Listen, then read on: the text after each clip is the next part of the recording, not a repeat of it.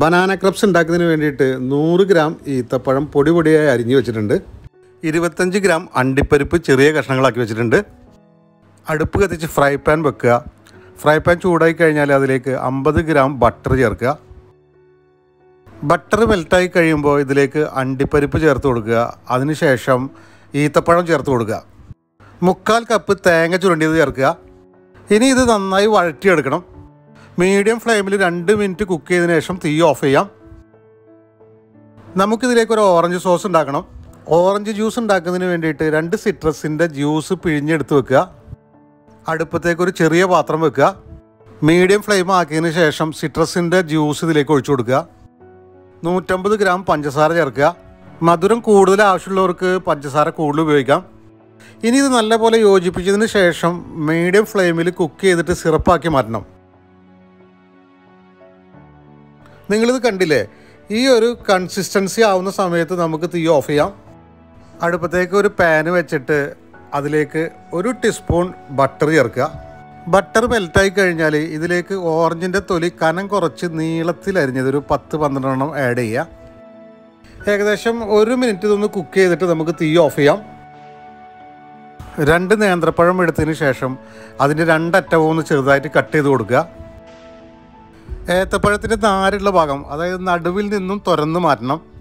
ഇത് എളുപ്പത്തിൽ ചെയ്യുന്നതിന് വേണ്ടിയിട്ട് ഏത്തപ്പഴം വേണമെങ്കിൽ രണ്ട് മൂന്ന് കഷ്ണമാക്കിയതിന് ശേഷം നടു തുറന്ന് മാറ്റാം. പഴത്തിന്റെ നാരുള്ള ഭാഗം തുറന്ന് മാറ്റിയതിന് ശേഷം പഴത്തിന്റെ തൊലി കളഞ്ഞു മാറ്റുക.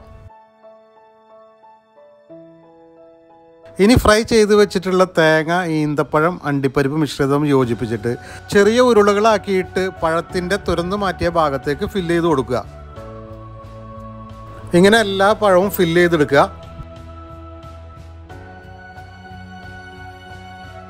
ഫില്ല് ചെയ്ത പഴങ്ങൾ ചെറിയ കഷ്ണങ്ങളാക്കി മുറിച്ച് മാറ്റി വെക്കുക.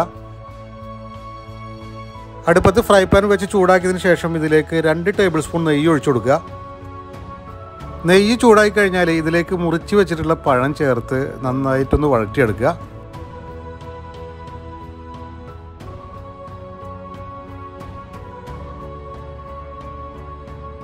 നന്നായി വഴറ്റിയതിന് ശേഷം ഇതൊരു പ്ലേറ്റിലേക്ക് മാറ്റാം. ഇനി ഇതൊന്ന് നമുക്കൊരു പ്ലേറ്റിലേക്ക് സെർവ് ചെയ്യാം. ഫ്രൈ ചെയ്ത പഴങ്ങൾ പ്ലേറ്റിലേക്ക് നിരത്തി വെച്ചതിന് ശേഷം രണ്ട് സൈഡിലുമായിട്ട് രണ്ട് സ്കൂപ്പ് ഐസ്ക്രീം വിളമ്പാം. വിളയിച്ചെടുത്ത ഓറഞ്ച് തൊലി പ്ലേറ്റിലേക്ക് നിരത്തുക. തയ്യാറാക്കി വെച്ചിട്ടുള്ള ഓറഞ്ച് സോസ് എടുത്ത് പഴത്തിന്റെ മേലെ ഒഴിച്ചു കൊടുക്കുക. സ്വാദേറിയ ബനാന ക്രബ്സ് റെഡി ആയിട്ടുണ്ട്. കുട്ടികൾക്ക് വളരെയേറെ ഇഷ്ടപ്പെടുന്ന ഈ മധുര പലഹാരം നിങ്ങളെല്ലാവരും ഒരു പ്രാവശ്യമെങ്കിലും ട്രൈ ചെയ്ത് നോക്കുക.